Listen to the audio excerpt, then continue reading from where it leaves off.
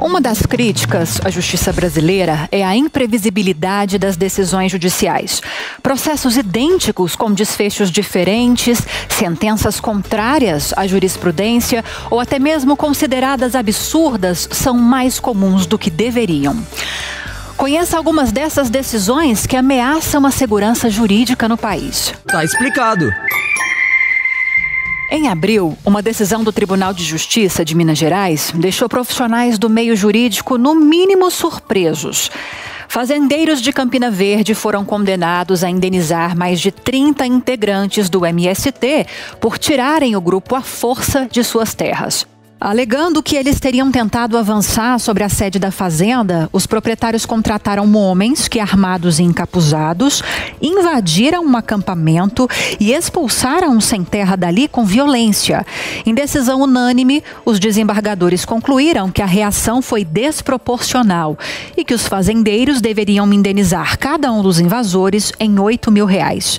O caso é mais um em uma série de decisões que contribuem para aumentar a imprevisibilidade da justiça brasileira, comprometendo a segurança jurídica do país.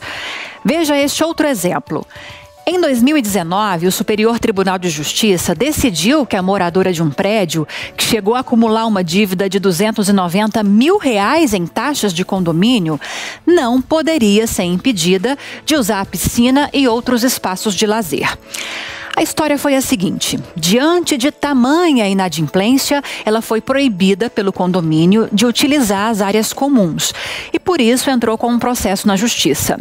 O pedido foi julgado improcedente nas duas primeiras instâncias, mas em um novo recurso, o STJ adotou entendimento contrário e que, portanto, a moradora teria os mesmos direitos de usufruir das áreas de lazer que os condôminos que estavam com os pagamentos em dia. E vamos relembrar um outro caso que ganhou repercussão em 2011. Um ex-funcionário de uma rede americana de fast food foi indenizado em mais de 70 mil reais por ter engordado 30 quilos ao longo de 12 anos de trabalho. Ao processar a empresa, ele disse que era obrigado a provar os lanches.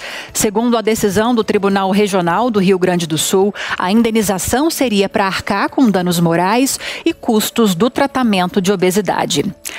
Para especialistas em direito, além da insegurança jurídica, a imprevisibilidade da justiça aumenta os conflitos, o que sobrecarrega ainda mais o judiciário brasileiro e ainda compromete a estabilidade econômica e política do país. E quanto maior o alcance dessas decisões, mais duras serão as consequências. Tá explicado? Até a próxima.